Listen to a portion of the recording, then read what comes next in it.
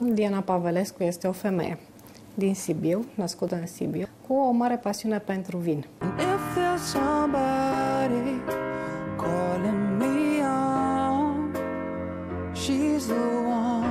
Cunoaște foarte bine valorile morale, calitatea oamenilor și se mândrește că este sibiancă. Diana Pavelescu, de note vinului, știe totul despre el, de la strugurile din care e făcut până la temperatura la care e ținut și vorbește cu atâta pasiune despre meseria ei, încât te face să o asculți până la capăt. Este o piață foarte mare, grea, ce drept, dar foarte interesantă. La fel de interesantă este și povestea ei de viață. A pornit de jos, dar ambiția, pasiunea și încrederea au ajutat-o să reușească. Am uh, început uh, în Sibiu cu o firmă pe care am avut-o, care se ocupa de furnizare, materiale enologice, utilaje pentru vinificație. Am lucrat în domeniu aproape, nu știu, 15-20 de ani, destul de mult. Atunci am început să um, merg, să mă interesez, să fac degustări. Am făcut un curs de degustători autorizați, după care am devenit degustător autorizat, pornind din Sibiu și de la firma cu care am început să lucrez, după aceea mi-am făcut firma mea, ă, după care m-am săturat de vânzări și m-am mutat în București, fiindcă vreau să vorbesc mai mult despre vinuri. Am încercat să investesc foarte mult în dezvoltarea personală, practic să văd cât mai multe vinuri, să văd cât mai multe locuri, să înțeleg, să să știu mai multe. Acum sunt în uh, juriu la concursurile internaționale. Anul acesta am participat la șase concursuri. Uh, am fost la Berlin de două ori, am fost în Corea, uh, am fost la Strasburg, aici la concursul internațional în București. Quand il me prend dans ses bras, il me parle tout bas,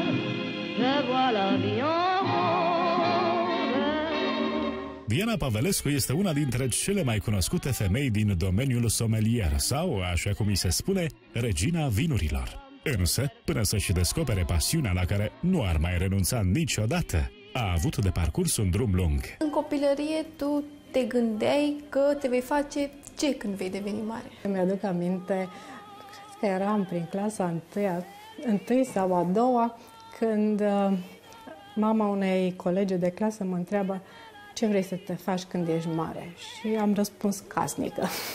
Am vrut să fac design, fiindcă îmi plăcea foarte mult moda, chiar am și făcut curs de croitorie, să devin inginer textilist. Iar mama care lucra în domeniu a zis, nu este de tine, nu.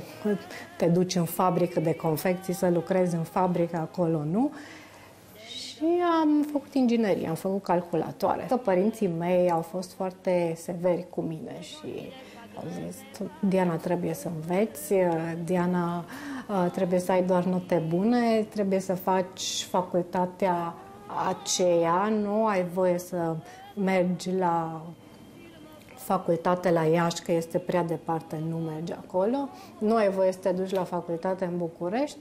Uh, eu am venit și am zis, ok, copiii mei fac ce le place. La la bohème, ça voulait dire on est Severitatea părinților nu a descurajat-o, ba din contră, și-a luat inima în dinți și a pornit la drum.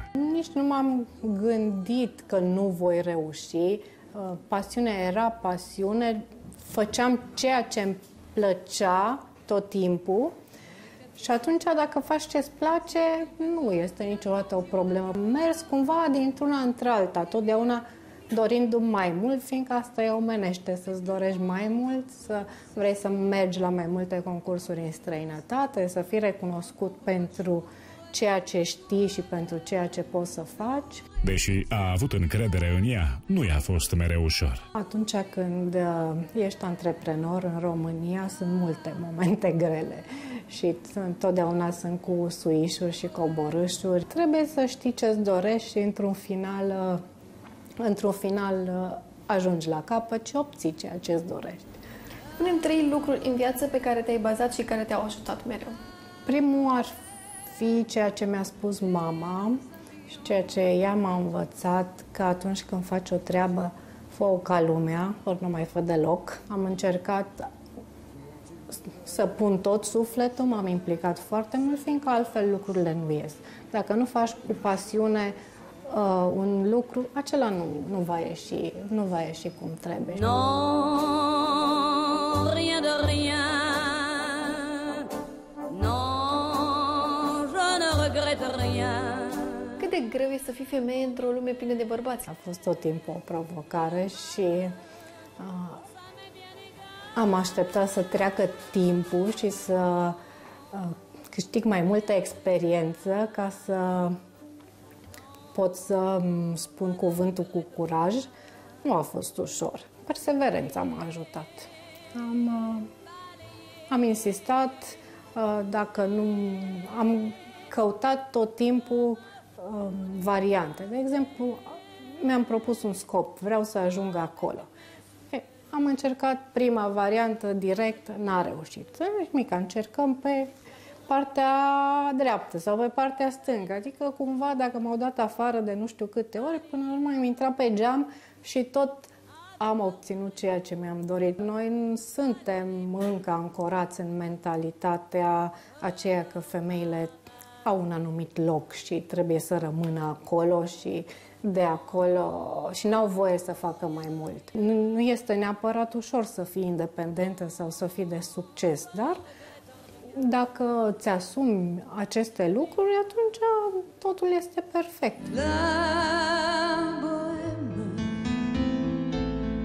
la bohème, ça voulait dire on est heureux. Există o rețetă a succesului? După mine, făcându-ți ce-ți place, vei avea succes absolut sigur. Eu am fost o norocoasă că am găsit uh, relativ repede ceea ce îmi place, dar n-am găsit relativ repede calea către a deveni de succes. Cred că o femeie poate face orice își dorește ea să facă. Că alocă mai mult timp carierei, că alocă mai mult timp familiei. Până la urmă trebuie, este dorința ei, este modul cum vede ea lucrurile și nu ar trebui judecat nimeni. Afacerii tale încurajează pe tinerele care vor să-și încerce norocul în acest domeniu, dar le și avertizează. Aș vrea să fie ele însele, să nu se ascundă și să nu se gândească acum mă voi purta așa, fiindcă asta se așteaptă de la mine.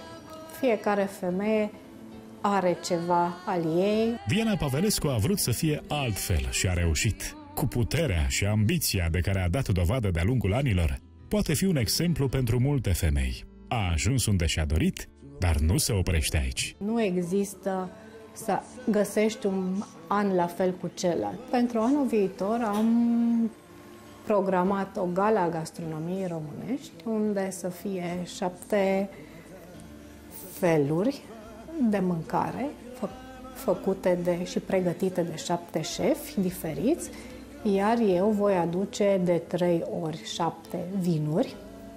La fiecare fel de mâncare se vor prezenta trei vinuri. Formidable! Tu étais formidable, j'étais formidable. Nous étions formidables.